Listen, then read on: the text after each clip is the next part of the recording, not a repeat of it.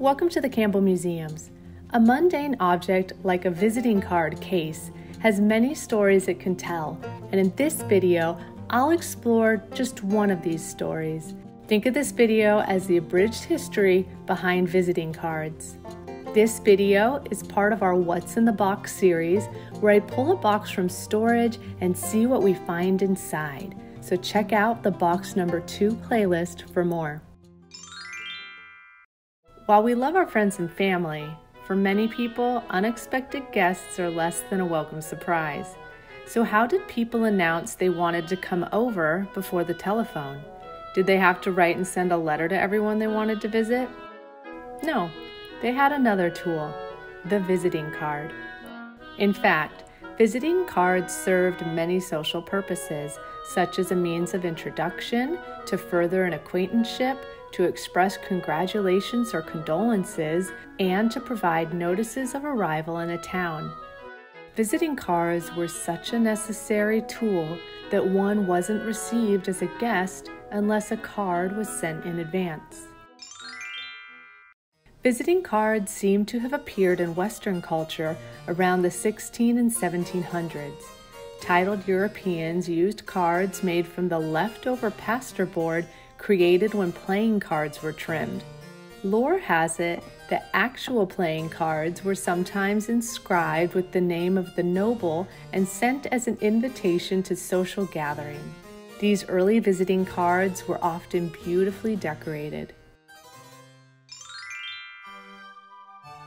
Who was it that said, in the Victorian era probably, and a man of course, the only mechanical tool ever needed by a woman is a hairpin? He might have added that with a hairpin and a visiting card, she is ready to meet most emergencies. By the mid 1800s, visiting cards had moved from the titled classes to the ever growing middle class of the Industrial Revolution. These aspirational members of society seized upon this custom. Why were visiting cards a sign of status, might you ask? To properly follow visiting card etiquette, one needed far more than just calling cards and a lovely case. One also needed to have servants, a home large enough to include a parlor, and a silver card receiver basket. Simply put, this level of social etiquette required money and leisure time. It should be noted that visiting cards and business cards are not interchangeable. While visiting cards were generally only used by the upper middle classes, business cards were widespread among men and women of all classes. A business card left with the servants was in very poor taste, as it could imply that you had called to collect a bill. In Our Deportment, published in 1890, John Young observes To the refined or underbred, the visiting card is but a trifling and insignificant bit of social paper but to the cultured disciple of social law, it conveys a subtle and unmistakable intelligence. Its texture, style of engraving, and even the hour of leaving it to combine to place the stranger, whose name it bears, in a pleasant or a disagreeable attitude, even before his manners, conversation, and face have been able to explain his social position. As you can see, Card etiquette had strict rules. The subtle and covert messages carried through the cards were well understood by those who used them. Successful mastery of this etiquette created an image of respectability in the demanding and judgmental world of the 1800s. I will note the most basic rules around visiting cards. Generally, the sender waited in a carriage and enlisted a servant to deliver the calling card to the house, where it was received by another servant. Once received, the cards from visitors were placed on a silver salver in the entry hall, with the more impressive names displayed on top. The card itself was simple, printed on high quality unglazed Bristol board with fine script engraving. During the 1800s, ornamentation was in poor taste. Gentlemen would place their addresses on the cards, but ladies rarely did. A married woman would place her married name on the card, such as Mrs. John Smith.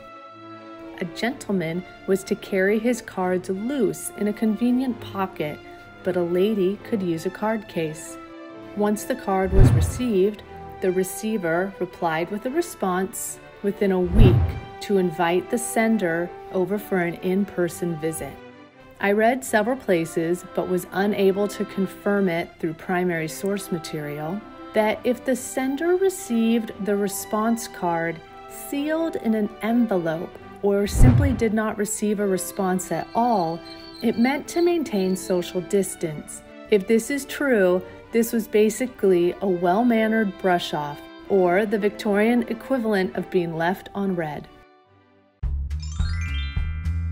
As society entered into the 20th century, social norms were changing drastically, and visiting cards were losing their rigid formality.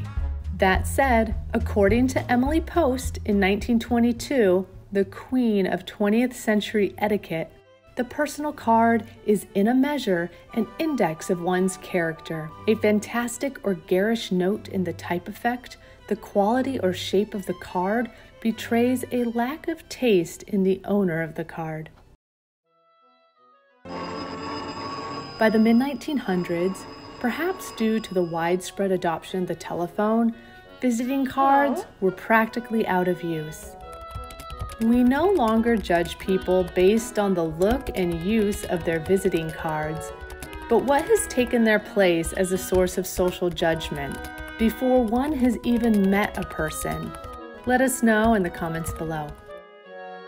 Mundane objects can contain big stories, and this visiting card case had a lot to say. What other stories might it tell?